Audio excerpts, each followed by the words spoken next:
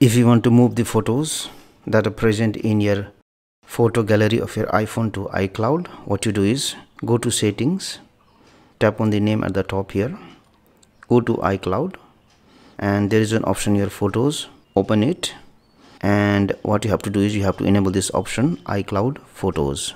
Enable it and once you do it you get two options here.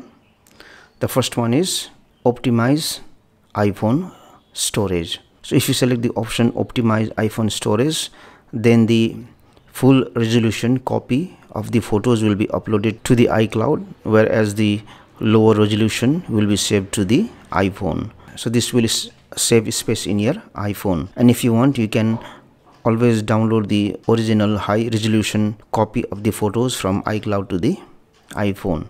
And the next option is download and keep original so in this case what happens is the actual resolution or the full resolution of the photo will be downloaded and it will be saved to the iphone as well as the photos also will be saved to the icloud.